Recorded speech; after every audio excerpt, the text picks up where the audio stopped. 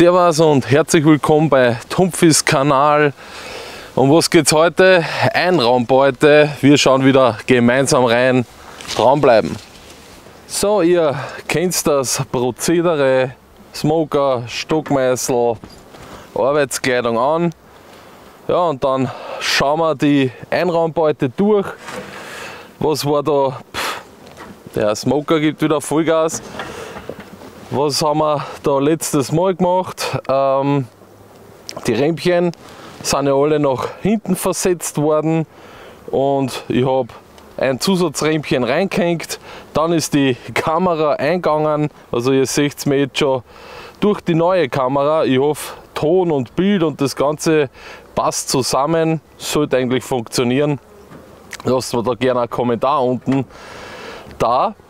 Ja, und wie ich das nochmal nachbearbeitet habe, das letzte Video mit den Rämpchen, dass ich das zeigen kann, was ich umgehängt habe, habe ich noch ein zweites Leerrämpchen reingehängt. Also die letzten zwei Rämpchen, was jetzt dann zur Futtertasche, sprich Sheet kommen, die sind, ja, wie lange ist es jetzt her? Eine Woche, ein bisschen über eine Woche sind die da reinkommen.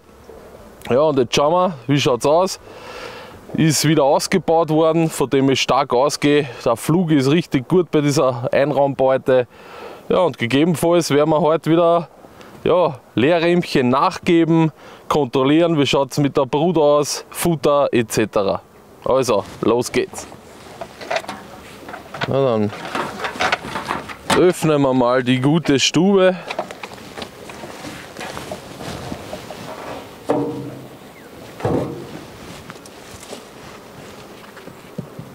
Machen wir den hinteren Deckel weg. Sehr gut.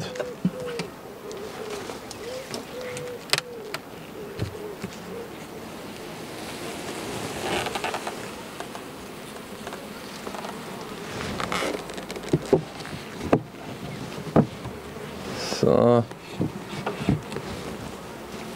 Gut. Also die das Völkchen sitzt auf 2, 4, 6, 7 Riemchen. Geben wir mal ein bisschen nur an Rauch. So als Anmeldung sozusagen.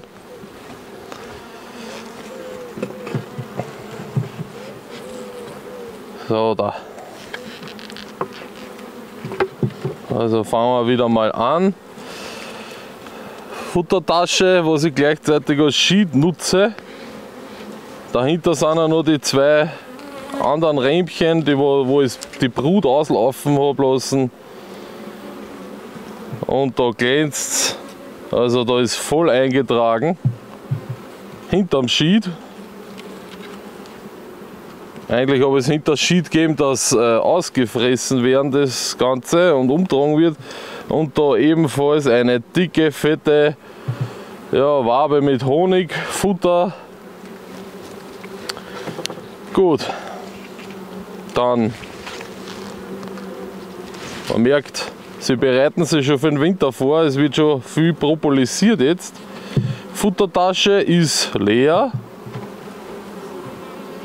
ein paar ansitzende Bienen drauf. So, und die zwei Riemchen habe ich das letzte Mal gegeben.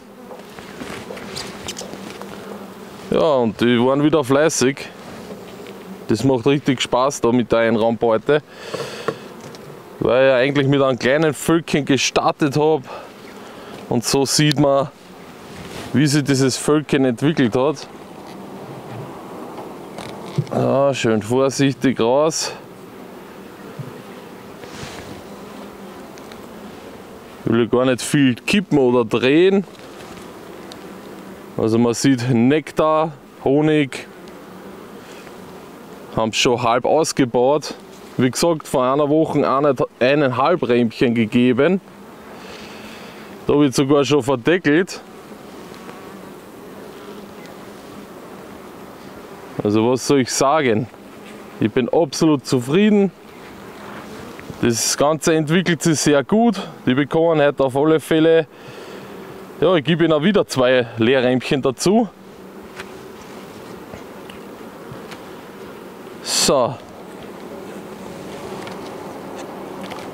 Dann das nächste Rämpchen. Oh, sehr schwer. Schweres Rämpchen. Auch wieder gefüllt mit Futter, verdeckeltes Futter, Honig. Das gleiche auf der anderen Seite.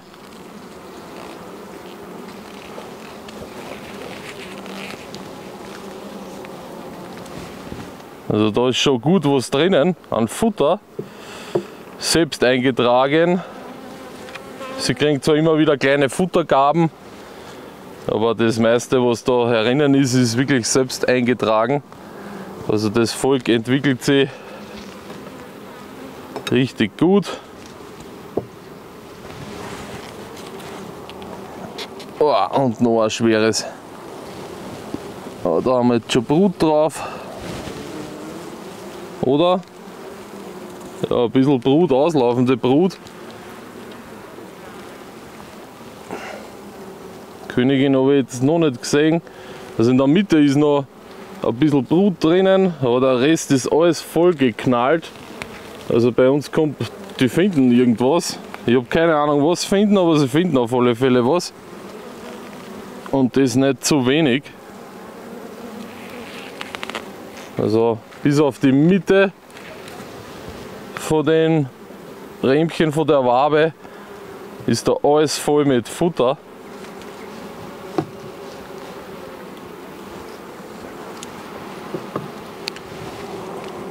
Dann das nächste. Also wenn einer die Königin sieht, bitte schreien, dann dass ich da genau aufpasse. Dann haben wir auch wieder Rähmchen aber auch voll geknallt mit Futter. Unten haben wir noch eine verdeckelte Brut, aber da ist alles voll. Alter Schwede. Also die brauchen unbedingt ein Rähmchen, sonst haben sie keinen Platz mehr für Brut. Also Königin habe ich bis jetzt nicht gesichtet. Wie schaut es bei euch aus? Habt ihr das hier schon gesehen?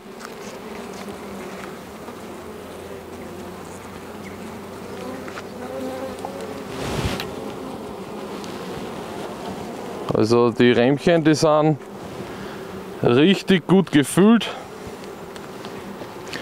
Ich glaube, bei dem Volk braucht man auch gar nicht mehr füttern momentan.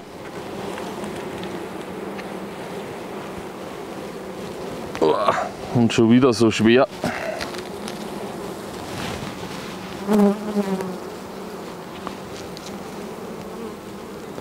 Auch wieder alles angefüllt.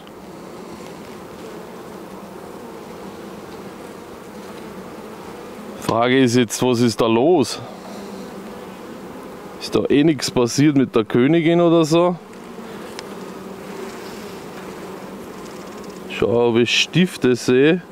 Aber ich sehe Stifte. Keine Ahnung, ob die Kamera das auch einfangen kann. Schauen wir auf die Rückseite. Vielleicht drängt da eh die Königin schon irgendwo herum. Nö. Aber gefühlt jede Zelle, die bis offen war oder offen ist, ist gefüllt mit Nektar. Absolut crazy.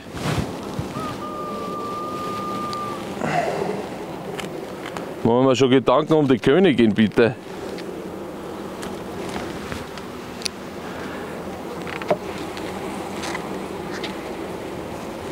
Das ist ja Wahnsinn.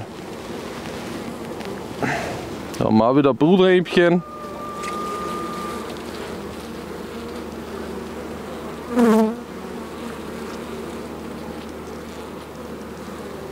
Da haben wir Stifte.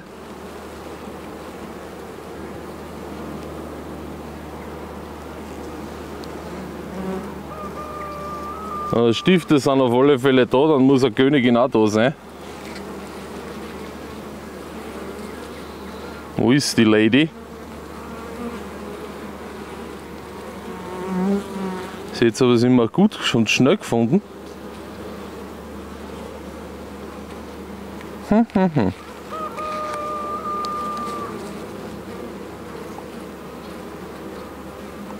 Tja.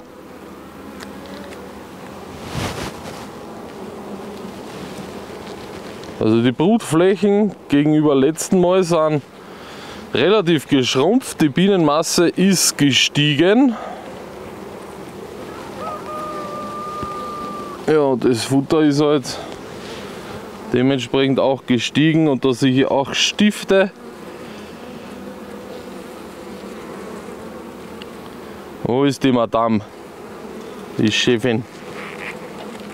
Und da ist sie schon, auf der letzten Wabe. Ich hoffe, ihr seht das. Mit dem gelben Blättchen. Die Nummer 1. Meine allererste Sissi-Tochter standbegattet. Auf der Suche nach freien Zellen.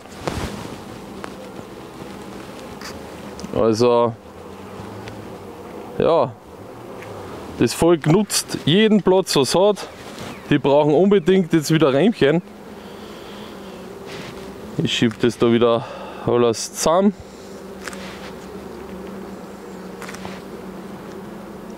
So.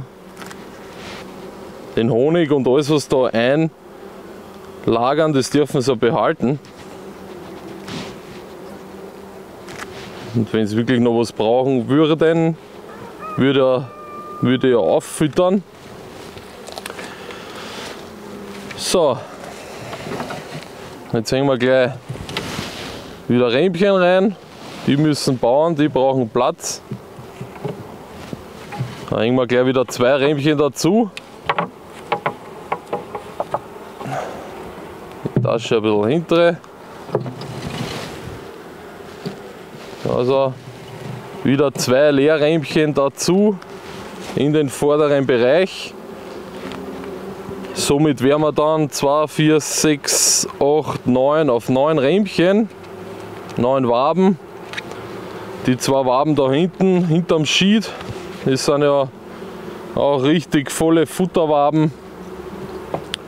Die werde ich auch herinnen lassen bis über den Winter als Winterfutter, die kann ich dann seitlich anhängen. Auch nochmal zusätzliches Futter, kann nicht schaden. So, eigentlich war es das schon wieder. Jetzt heißt Deckel zu und fertig diese Durchsicht da. Eine weitere Durchsicht bei der Einraumbeute ist erledigt. Ich mag die Einraumbeute, es ist super, wie sie die entwickelt hat, beziehungsweise das Volk in der Einraumbeute und man sieht, es geht auch richtig mit Vollgas weiter. Äh, mich wundert es, dass da jetzt so viel Nektar drinnen ist, was die da her schleppen, sage ich einmal. Jetzt wieder zwei Rähmchen erweitert. Also ich bin da zuversichtlich, was die Überwinterung angeht. Das Volk wird sicher noch, ja, ich schätze auf zwölf Waben kommen. Ja, also falls euch das interessiert, unbedingt Abo da lassen, dann verpasst ihr ja nichts. Ihr könnt mir gerne unten in die Kommentare schreiben, wie gefällt euch dieses ganze Einraumbeuten-Projekt. Habt selber Einraumbeuten, alles unten in die Kommentare. Ich sage danke, dass ihr wieder dabei wart. Bis zum nächsten Mal.